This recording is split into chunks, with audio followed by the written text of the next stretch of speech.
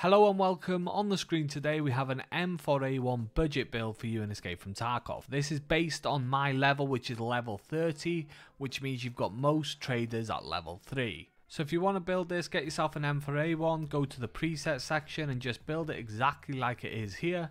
If you can't find any of the items it's probably because you haven't examined them.